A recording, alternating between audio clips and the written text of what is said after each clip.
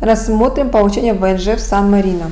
Итак, а, это возможно через открытие бизнеса. ВНЖ получает генеральный директор компании и действует он, пока существует данная компания. Первоначально карточка дается сроком на 5 лет с правом продления на такой же период. Главным преимуществом ведения бизнеса в стране являются низкие корпоративные налоговые ставки. Кроме того, для физических лиц, получающих средства из-за пределов Сан-Марино, отсутствует подоходный налог. А второй способ – это инвестиции. Помимо бизнес-плана и найма пяти местных сотрудников в новосозданную компанию, кандидату потребуется вложить примерно от 300 тысяч евро в покупку или аренду недвижимости.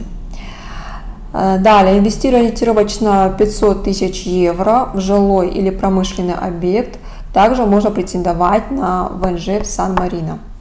Если кандидат получает гражданство, то его ожидают такие преимущества, как посещение европейских стран без визы а, и возможность проживания в любой из них. Далее, безвизовый въезд в Великобританию, США, Канаду, Новую Зеландию, большинство стран Латинской Америки, Китай. Дальше, бесплатное пользование качественной медициной, выгодная налоговая ставка – и бесплатное обучение во всех учреждениях страны.